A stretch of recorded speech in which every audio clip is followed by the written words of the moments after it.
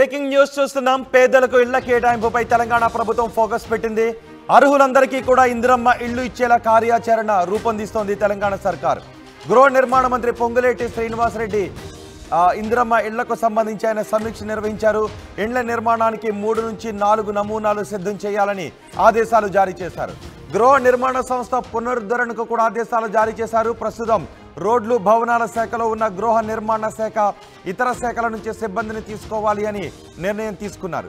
ఇందిరమ్మ ఇళ్ళపై త్వరలోనే ముఖ్యమంత్రి రేవంత్ సమీక్ష నిర్వహిస్తారని చెప్తున్నారు. సీఎం సమీక్ష తర్వాత ఇళ్ళ నిర్మాణానికి విధి విధానాలను ఖరారు చేయనున్నట్టుగా తెలుస్తోంది.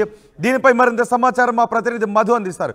మధు ఇందిరమ్మ ఇళ్ళ నిర్మాణం ఎప్పుడు కార్యాచరణ కార్యరూపం దాల్చే అవకాశం కనిపిస్తోంది? ఎగ్జాక్ట్లీ వరుసగా మంత్రులు ఎవరైతే వారి వారి శాఖలకు సంబంధించి వరుస భేటీలు నిర్వహిస్తా ఉన్నారు రివ్యూలు నిర్వహిస్తా ఉన్నారు మనం చూస్తా ఉన్నాం. కొత్త ప్రభుత్వం ఏర్పాటైన తర్వాత అసలు శాఖల పనితీరు ఎలా ఉంది ఉన్న పరిస్థితి ఏంటి అనేటువంటి దానిపైన దృష్టి పెట్టారు. అందులో భాగంగానే పొంగులేటి కూడా తన శాఖ పైన దృష్టి పెట్టారు. ఇందిరమ్మ ఇళ్ళకు సంబంధించి నాలుగు డిజైన్లు రూపొందించాల్సిన రూపొందించారు. దాంతో పాటు ఆ గతంలో ఇచ్చినటువంటి రాజీవ్ స్వగృహకు సంబంధించినటువంటి ఆ, ఇళ్ళ పైన కూడా రివ్యూ చేశారు. అసలు వాటి పరిస్థితి ఎలా ఉంది? వాటిని ఆప్షన్కి ఎలా తీసుకెళ్ళగలగాలి వచ్చినటువంటి అమౌంట్ని ఎలా ఇంద్రమ్మ ఇళ్ళ కోసం ఉపయోగించాలనేటువంటిది అధికారులకు పురమాయించారు ప్రస్తుతం ఉన్నటువంటి శాఖ రోడ్లు భవనాల శాఖకు సంబంధించినటువంటి ఆధ్వర్యంలోకి వెళ్ళిపోయింది కాబట్టి దాన్ని పునరుద్ధరించనున్నట్టుగా కూడా అధికారులతో ఆయన చాలా స్పష్టంగా చెప్పడం జరిగింది. ఇక సిబ్బందికి సంబంధించినటువంటి విషయంలో వివిధ శాఖల నుంచి డిప్యుటేషన్ పైన సిబ్బందిని తీసుకొని శాఖ పునరుద్ధరణకు స్పీడ్ పెంచేలాగా ఇంద్రమ్మ ఇళ్ళ నిర్మాణానికి సంబంధించినటువంటి డిజైన్ పూర్తయిన తర్వాత విధి విధానాలు ఖరారైన తర్వాత దీనికి సంబంధించినటువంటి పనులు ప్రారంభించనున్నట్టుగా మంగళవారం రాత్రి పొంగులెడ్డి శ్రీనివాసరెడ్డి మంత్రి చాలా స్పష్టంగా అధికారులకు ఆదేశాలు జారీ చేశారు. రానున్నటువంటి రోజుల్లో ఎందుకంటే కాంగ్రెస్ ప్రభుత్వంలో ఏ- కాంగ్రెస్ ప్రభుత్వ ఏర్పాటు చేస్తే ఇచ్చిన హామీలను నెరవేర్స్తామంటూ ఎన్నికల సమయంలో ఏవైతే హామీలు ఇచ్చారో ఆ హామీల అమలుకు అమలు చేయడానికి కాంగ్రెస్ ప్రభుత్వం సిద్ధమవుతున్నట్టుగా తెలుస్తా ఉంది. వరుసగా ఏ ఏ శాఖ మంత్రి చేపట్టారో ఆ శాఖల పరిస్థితులు దానికి సంబంధించిన వివరాలు డీటెయిల్స్ తెలుసుకునే ప్రయత్నం చేస్తున్నారు. పొంగులేటి కూడా డీటెయిల్స్లోకి వెళ్తా ఉన్నారు. ఆ గృహ నిర్మాణానికి సంబంధించినటువంటి విషయంలో.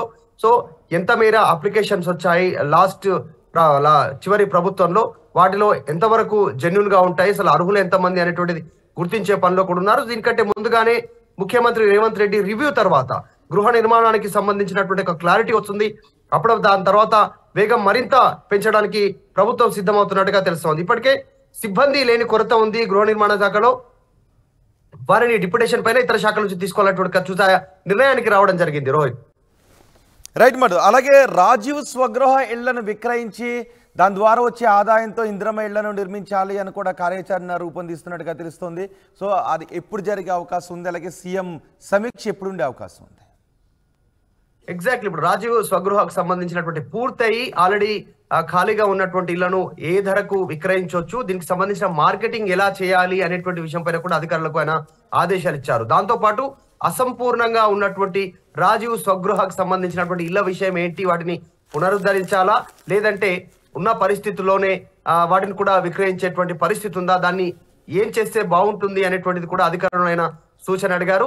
సో ఆ వచ్చినటువంటి అమౌంట్ను గృహ నిర్మాణ శాఖ వినియోగించుకోండి మొత్తం రాష్ట్ర వ్యాప్తంగా ఉన్నటువంటి రాజీవ్ స్వగృహ కంప్లీట్ అయి కంప్లీట్ అయినటువంటి ఆ, పరిస్థితి ఎలా ఉంది? ఇప్పుడు ఉన్నటువంటి వాటిలో కండిషన్ ఎలా ఉంది? ఇళ్ళ నిర్మాణం.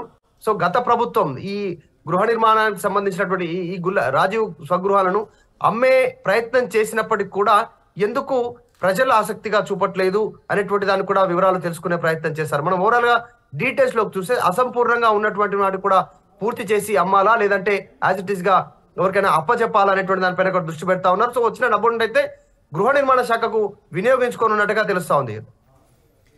థ్యాంక్ యూ మధు పేదలకు ఇళ్ళ కేటాయింపుపై తెలంగాణ ప్రభుత్వం ఫోకస్ పెట్టింది. అర్హులందరికీ కూడా ఇందిరమ్మ ఇళ్ళను ఇచ్చేలా కార్యాచరణను రూపొందిస్తోంది. గృహ నిర్మాణ శాఖ మంత్రి పొంగులేటి శ్రీనివాసరెడ్డి సమీక్ష నిర్వహించారు. ఇళ్ళ నిర్మాణానికి మూడు నుంచి నాలుగు నమూనాలను సిద్ధం చేయాలని ఆదేశించారు. గృహ నిర్మాణ సంస్థ పునరుద్ధరణకు ఆదేశాలు జారీ చేశారు. ప్రస్తుతం రోడ్లు భవనాల శాఖలో ఉన్న గృహ నిర్మాణ శాఖ ఇతర శాఖల నుంచి సిబ్బందిని తీసుకోవాలి అని నిర్ణయం తీసుకున్నారు. ఇందిరమ్మ ఇళ్ళపై త్వరలోనే ముఖ్యమంత్రి రేవంత్ రెడ్డి కూడా సమీక్ష నిర్వహిస్తారని చెప్తున్నారు. సీఎం సమీక్ష తర్వాత ఇళ్ళ నిర్మాణానికి విధి విధానాలు ఖరారు చేస్తాము అని పొంగులేటి